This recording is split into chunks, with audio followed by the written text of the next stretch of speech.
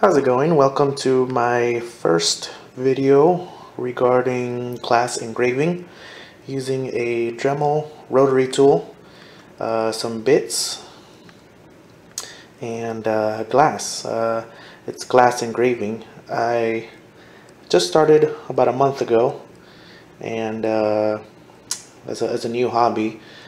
I've researched it um, online, found a few different uh, places to learn a couple different techniques but uh, they seemed fairly advanced for a, a beginner.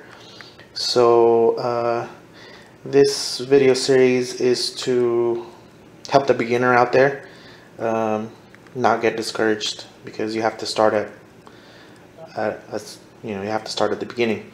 So the first thing you're gonna need is your basic Dremel rotary tool I have uh, this one here. Um, it cost me about 20 $25. Um, I believe this is uh, a Dremel 200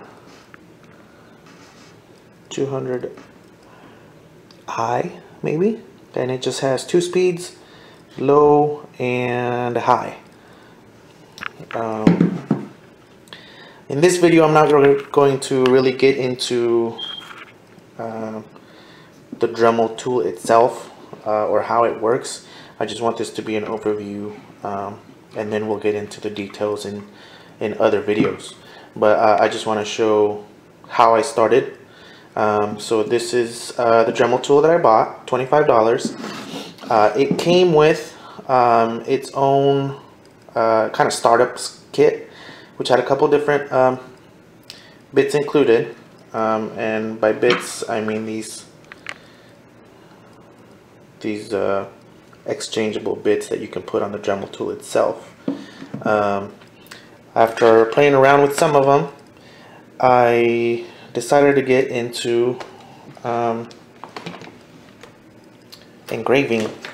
Uh, at first, my first thought was engraving wood, get into woodworking, but then uh, I researched a little bit and read up on some and noticed that uh, glass was a, a, medium that I could do. So after that I bought uh, myself kind of a, a, a Dremel um, kit that had a little bit more tools or more bits and so that's this one. This one went for about 20 more dollars and it has a little bit more things like a sand, uh, stuff to sand with, um, polishing, polishing wheels, and um, you know, just basically your basic startup kit, even more so than the one that came with the actual rotary tool. Um, my very first project into glass was a very simple uh, shot glass um, I bought at the dollar store. So uh, three of these came in a in a pack for a dollar. So I figured, oh, you know, what better way to kind of just mess around and see what I can come up with. Uh, you can see on this one, I actually retouched this a little bit since my very first time. But uh, you can see I kind of just try to freehand it. So my numbers are kind of all squiggly. Looks like a three-year-old made them. Um, you can see that there. Uh, and I just wanted a basic heart shape. Let me see if maybe we can get uh, a light on it.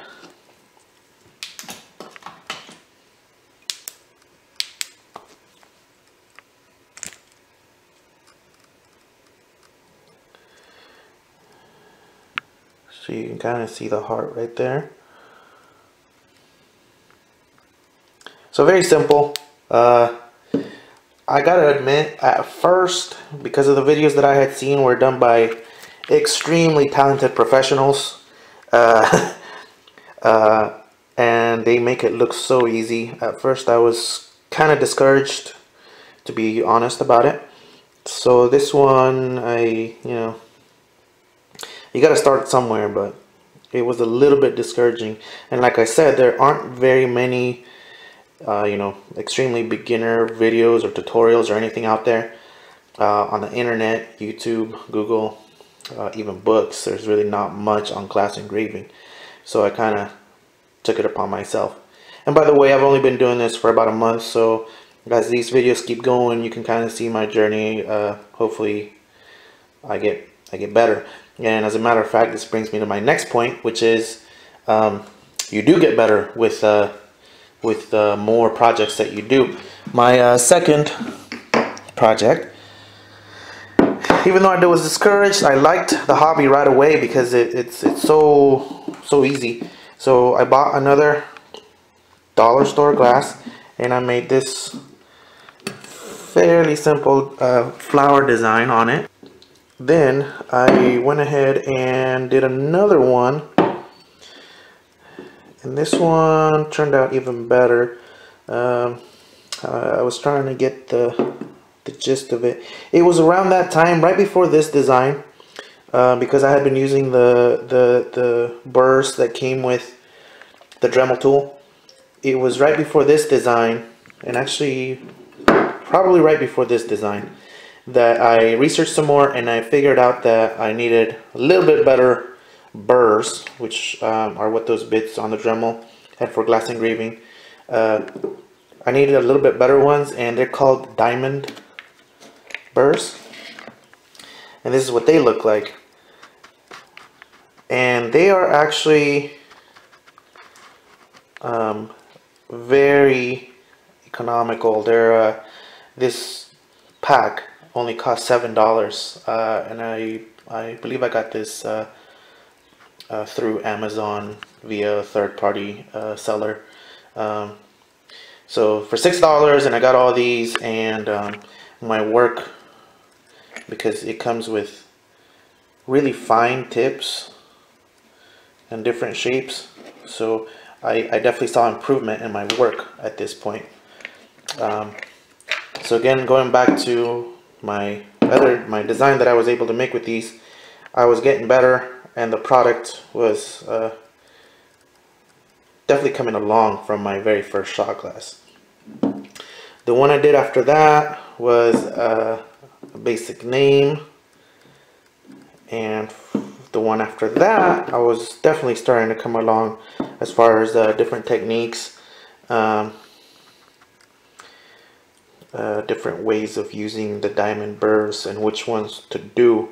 It was at this point uh, that I, I mean this looks good, this looks kind of nice. I mean obviously there's still, there were still places that, you know, like with practice, you know, I, this was a little slip up on, uh, on the burr. Uh, so you see a little bit of that and of course I can see it fairly, I can spot these fairly easily. Um, but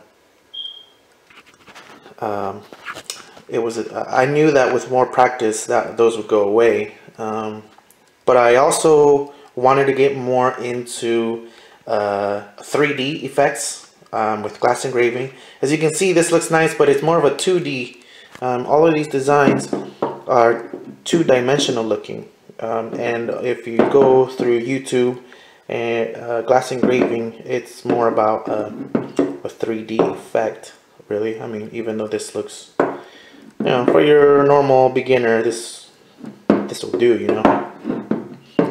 Um, so I researched some more, and I'll show you this one, and it's really about the depth and the different type of grits you use. So my next one, I decided, uh, I'm a San Francisco Giants baseball fan, um, I decided to go for something like this on a plate. So my next one, I decided to, uh, you know, engrave uh, San Francisco Baseball Giants uh, on a plate. And uh, I gotta say, so far, this is definitely one of the better ones. Uh, you know, only only a few weeks in, I managed to get this kind of result. Um,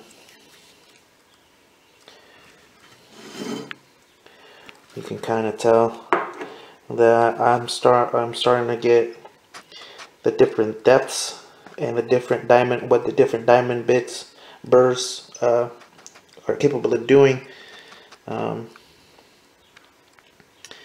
around this time as well, there's a, and we'll get into it a little bit more on, on the next few videos as far as uh, you know how to get these designs onto the plate. Um, but like I said, this one's a, a, a overview of how far uh, you can get in a small amount of time.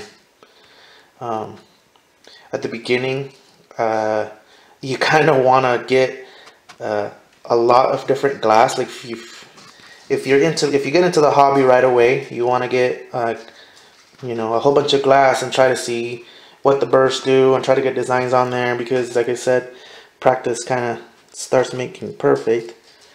Uh, not this is again. Um, to me this is I want to get a lot better uh, here. So that was my last one and now I have another one that I'm working on. And instead of buying you know a whole bunch of plates like a Target or dollar store I decided to use a a Crown Royal bottle. You know, it was almost finished, so um, went ahead and finished it uh, the, using you know, the bottle, cleaned it up, took the front label off, and now I'm currently working on this. Uh, as you can see, I have uh, started to draw a design on the front. Uh, the idea is to make this one a flower uh, vase, flower pot, I guess. Not pot, just flower vase, put water in it and put some, you know, flowers in there. Mm. So I've, start, started to draw, you know, the basic design um, uh, with with a with a very fine point sharpie.